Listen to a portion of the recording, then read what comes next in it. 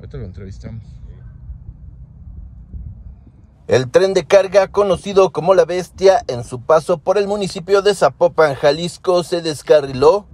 El ferrocarril atraviesa México de sur a norte y cuenta con más de 375 vagones que se extienden por 4 kilómetros de largo.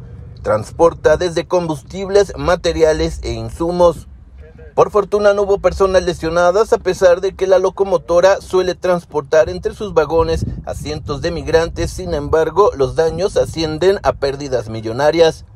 Las razones que dieron origen al accidente no fueron aclaradas hasta el corte informativo de las 6 de la madrugada. No obstante, varios vagones comenzaron a descarrilarse desde el paso de la locomotora sobre anillo periférico a la altura de la colonia indígena San Juan de Ocotán.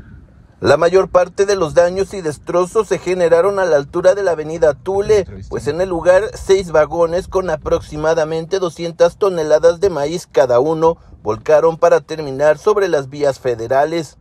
Testigos relataron haber visto chispas y fuego acompañado de un fuerte estruendo. Detallaron haber visto cómo se amontonaban los vagones de acero uno sobre otro.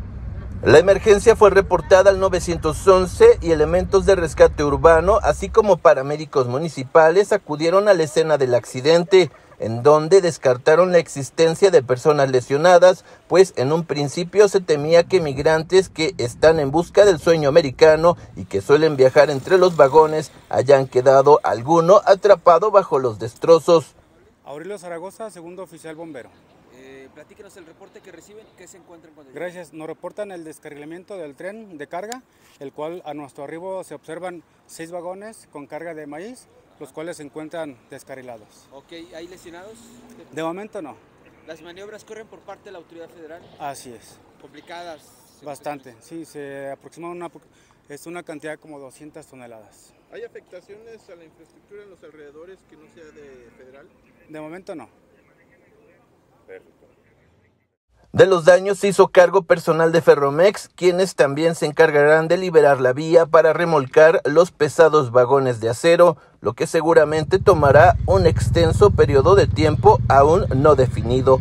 Reportó para Guardia Nocturna Alberto Mariscal. Guardia Nocturna.